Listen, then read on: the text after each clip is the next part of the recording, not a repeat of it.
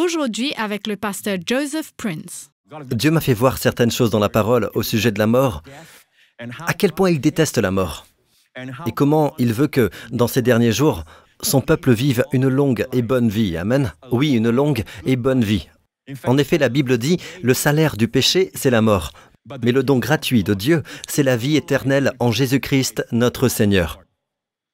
Le salaire du péché, c'est la mort. Eh, démissionner avant le jour de la paye. Le salaire du péché, c'est la mort. Mais le don, le don gratuit de Dieu, c'est la vie éternelle. En Jésus-Christ, notre Seigneur. La vie éternelle ne commence pas lorsque votre cœur s'arrête de battre. Mais la vie éternelle commence au moment où vous êtes né de nouveau, au moment où vous croyez au Seigneur Jésus-Christ comme votre Sauveur et votre Seigneur. Vous le confessez comme Seigneur, vous croyez dans votre cœur que Dieu l'a ressuscité des morts, vous croyez que Christ a pris vos péchés sur la croix, au moment où vous êtes né de nouveau. Amen. À ce moment précis, la vie éternelle. La vie éternelle est une qualité de vie que Dieu promet. Et Jésus lui-même a dit à Marthe, sur la tombe de son frère Lazare, il dit, toute personne qui vit et croit en moi ne mourra jamais. Donc pour un croyant, même si son cœur s'arrête de battre, il vit. Amen. Il vit pour toujours. Amen. La mort est comparable à quelqu'un qui enlève, par exemple, si j'enlève ma veste maintenant, elle tombe par terre, mais je suis toujours en vie. Amen. Donc la mort ne fait qu'enlever le corps corrompu, et la Bible dit que, que ce soit par l'enlèvement, si Jésus vient nous prendre, que nous ne voyons pas la mort. Amen.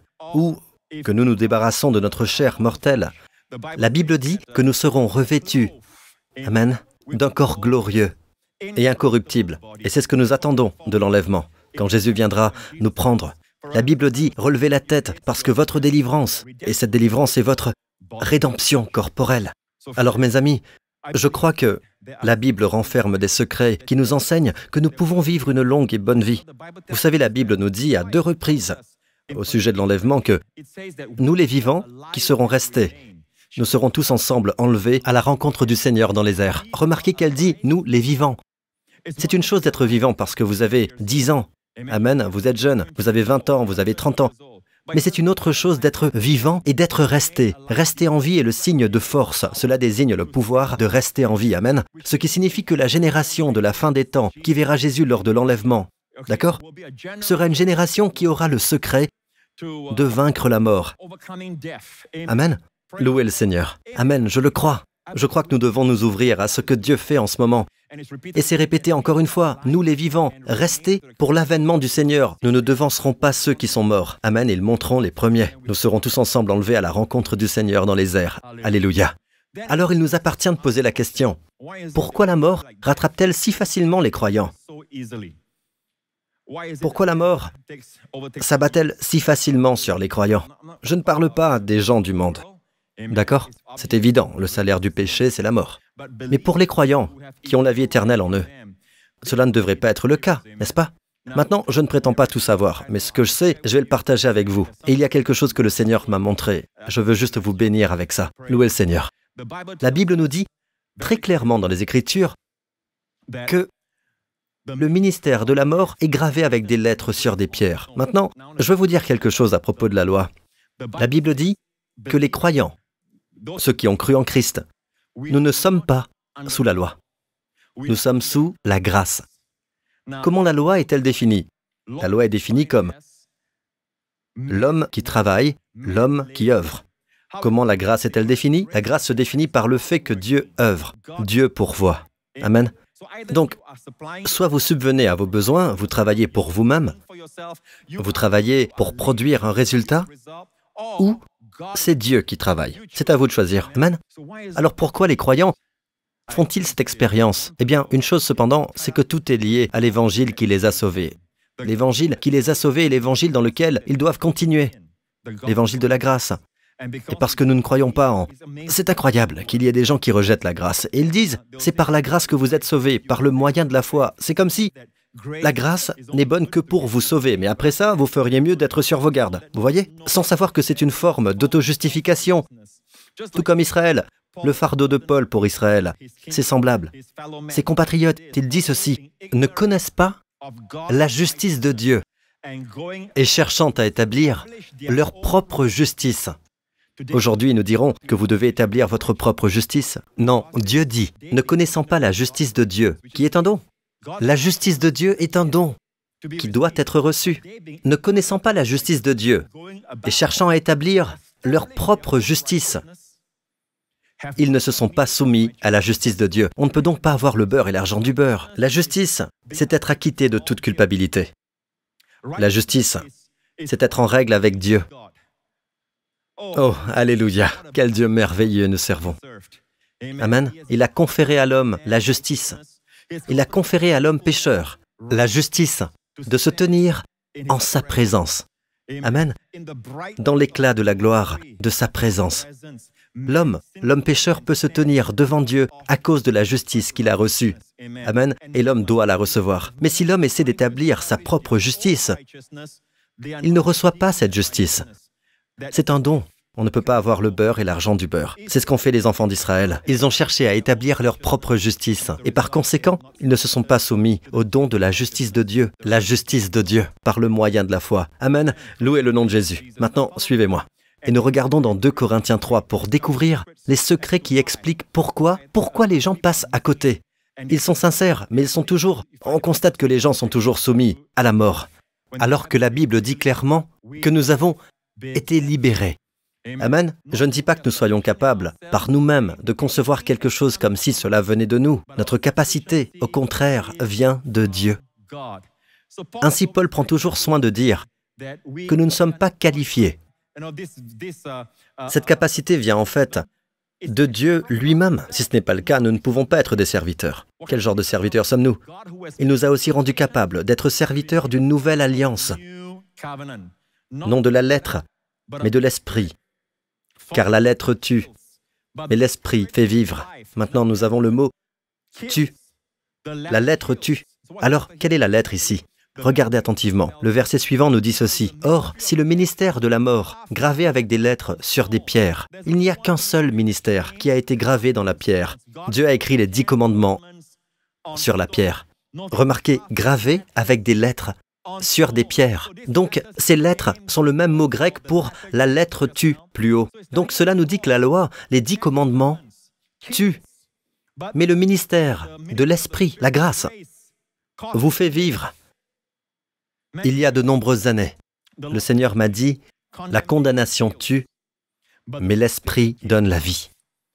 La condamnation tue, mais l'Esprit donne la vie. Donc, chaque fois que nous condamnons nos enfants, nous leur donnons la mort.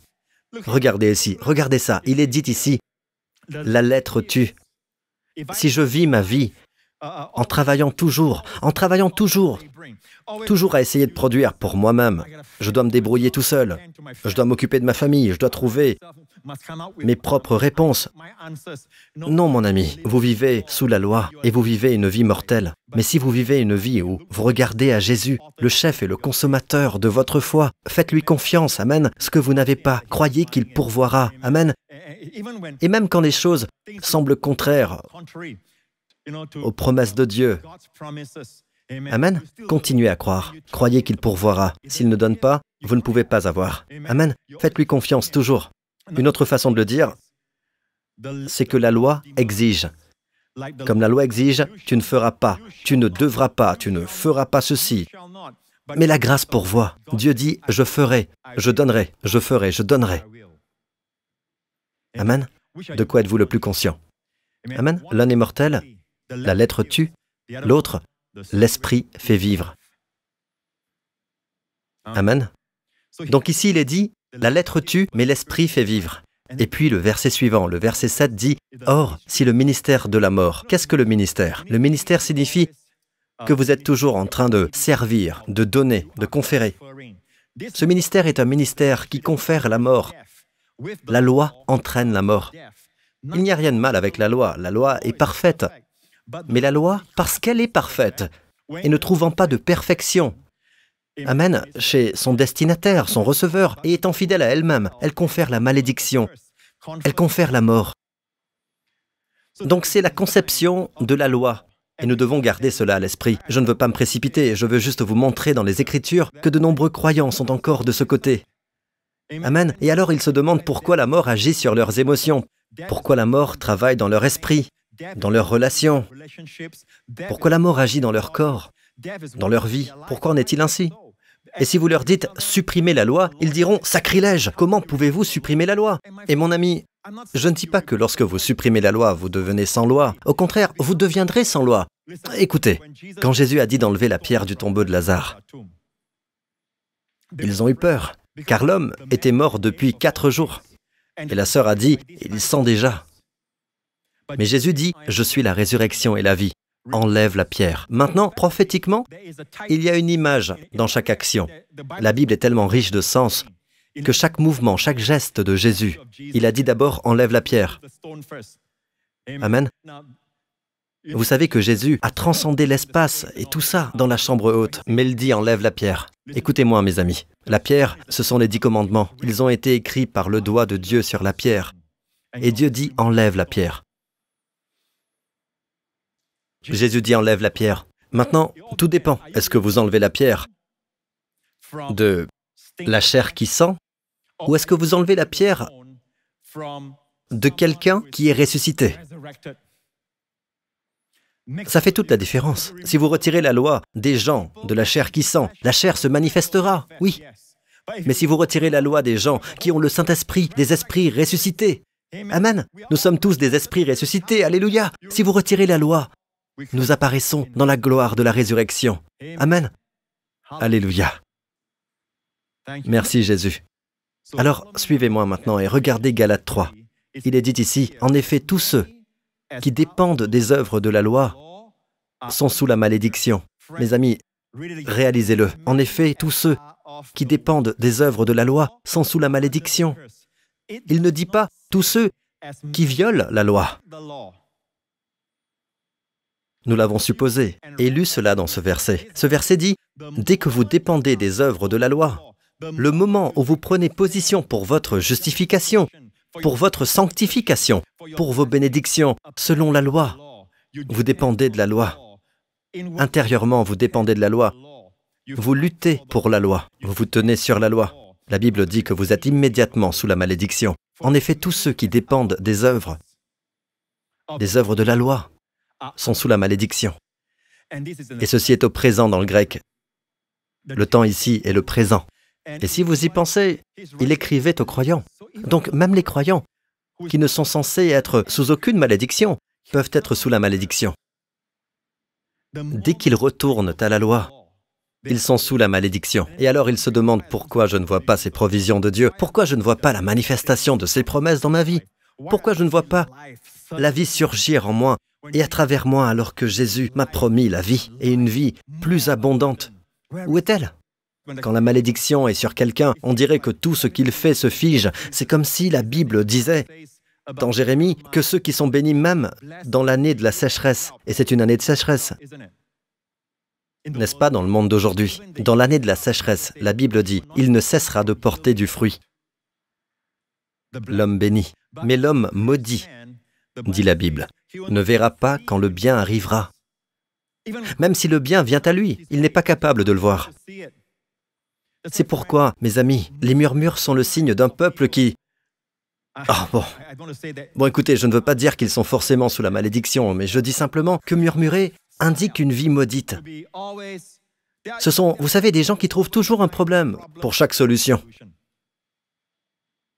Vous pouvez toujours leur faire confiance pour trouver un problème pour chaque solution. Amen. Vous leur dites la solution, ils vont essayer de trouver un problème. Ils ont toujours quelque chose de négatif à dire. Alors même pour notre pays, commençons à proclamer le bien. Commençons à voir le bien et célébrons notre nation. Amen. Louons Dieu. Donc, l'homme bon, l'homme béni, la Bible dit, Amen, dans l'année de la sécheresse, il ne cessera de porter du fruit. Sa feuille sera toujours verte la feuille parle de sa santé. Elle restera verte. Elle sera toujours verte, toujours jeune, toujours en bonne santé. Tel est l'homme béni du Seigneur. Et la Bible dit que la manière néo-testamentaire d'être béni est de mettre sa confiance en Jésus. Pour conclure, revenons à Galates 3. Et il est dit ici, en effet, tous ceux qui dépendent des œuvres de la loi sont sous la malédiction. Nous venons de le voir, mais regardez le verset précédent. Ainsi ceux qui croient sont bénis avec Abraham, le croyant. Vous avez vu cela? Ceux qui croient sont bénis avec Abraham le croyant. Ceux qui croient sont bénis. Ceux qui croient sont bénis. Bénis avec qui? Avec Abraham le croyant. Abraham est une image de la foi. C'est un homme de foi. Abraham a vécu 400 ans avant que les dix commandements ne soient donnés. Abraham n'était pas un homme parfait. Il a menti, vous savez, il a fait des erreurs et tout ça.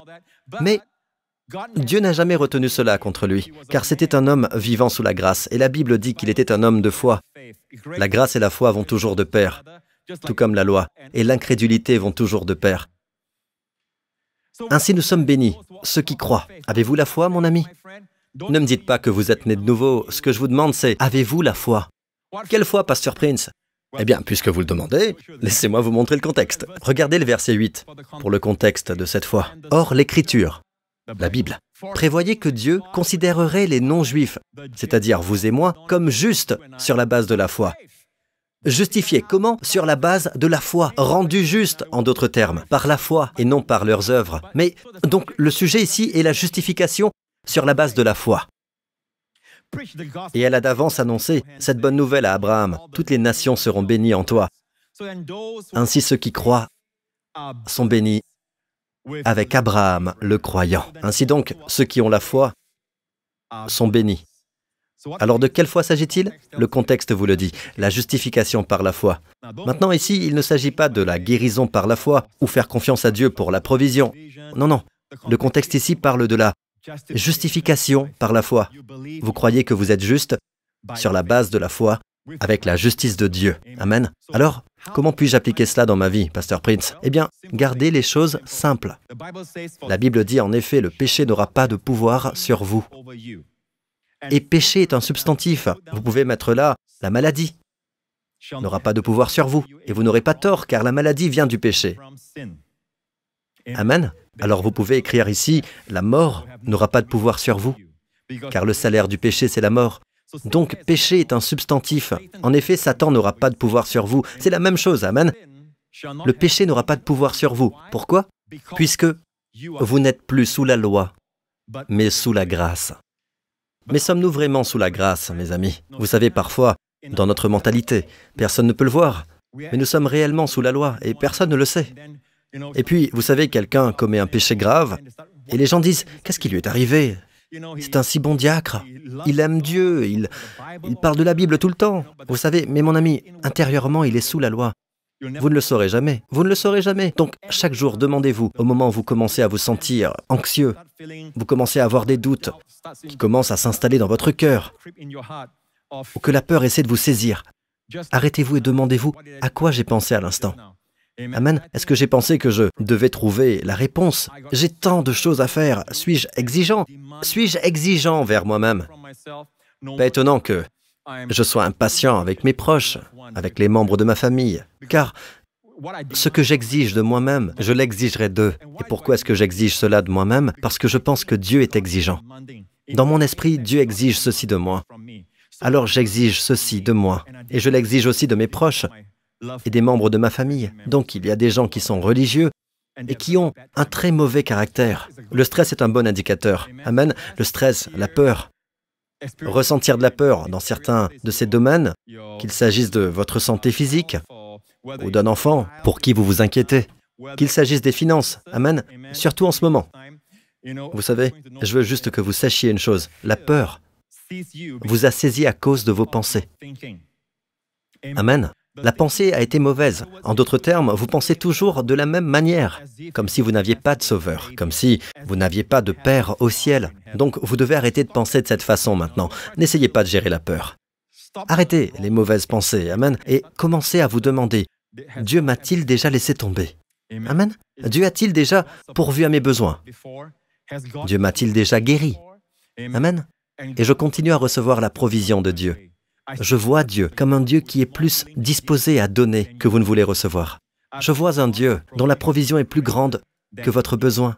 Après qu'il ait satisfait votre faim, Amen, il reste douze paniers pleins de morceaux qui restent. Sa provision surpasse toujours largement, Amen, vos besoins et même vos attentes. Il répond toujours. Non, il répond au-delà de notre prière. Dieu, dit la Bible, nous répond dans Éphésiens, infiniment plus que tout ce que nous demandons ou pensons. Si Dieu répond infiniment plus que tout ce que nous demandons ou pensons, alors demandez à Dieu de grandes choses et laissez-le faire infiniment plus. Amen. Louez le Seigneur. Ainsi, ce merveilleux Père céleste. Amen. Le Saint-Esprit est en nous pour nous enseigner sur lui et sur le Seigneur Jésus. Alléluia. Et l'une des choses que nous devons savoir, c'est de diviser correctement la parole, là où elle est sous la loi et là où elle est sous la grâce. Ainsi nous comprenons la vie que nous devons mener aujourd'hui. Et chaque fois que vous êtes sous la loi, il semble que les provisions soient gelées. Aucune provision ne vient. La santé est gelée. Mais dès que vous êtes sous la grâce, la santé jaillit rapidement. La provision arrive sans interruption.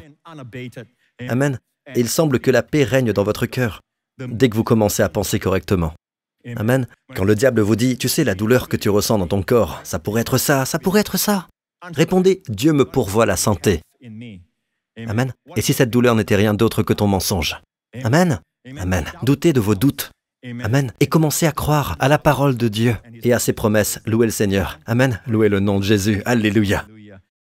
Dieu a tant aimé le monde, dit Jésus, qu'il a donné son Fils unique, afin que quiconque, cela vous inclut, quiconque croit en lui, ne périsse pas, mais ait la vie éternelle. Dites cette prière avec moi. Amen. Vous voulez bien? Dites Père céleste, je te remercie de ton amour pour moi. Je te remercie que Jésus est mort sur la croix pour mes péchés et que tu l'as ressuscité des morts lorsque tu m'as déclaré juste. Jésus-Christ est mon Seigneur, mon Sauveur et mon Dieu. Merci Père, je suis maintenant sauvé, je suis né de nouveau. Et ta vie et ta nature sont en moi. Apprends-moi tes voies, Seigneur, les voies de la grâce. Merci de m'aimer. Et j'attends avec impatience, Seigneur, une vie de repos en Christ. Constamment approvisionné, constamment pourvu, constamment protégé, constamment vivifié et renforcé au nom de Jésus. Amen, amen, amen. Louez le Seigneur, vous êtes nés de nouveau, et vous autres, quels que soient les défis auxquels vous êtes confrontés en ce moment, au nom de Jésus, tout d'abord, placez-vous dans la bonne alliance. Amen. Vous êtes dans la nouvelle alliance. Sachez que Dieu mettra dans votre esprit ses lois, ses instructions, sa direction pour ce que vous devez faire, etc. Croyez qu'il le fera. Amen. Soyez constamment conscient de sa provision. Amen. Et je prie pour vous au nom de Jésus. Si quelqu'un a perdu son emploi, je prie au nom de Jésus que la provision de Dieu surpassera vos besoins. Que le travail que vous aurez à l'avenir sera un emploi qui vous submergera dans le bon sens du terme. Vous en serez tellement bénis et la provision sera grande dans votre vie. Au nom de Jésus. Amen, amen, amen. Louez le Seigneur. Et je prie pour tous les parents, Seigneur, qui ont des difficultés avec leurs enfants.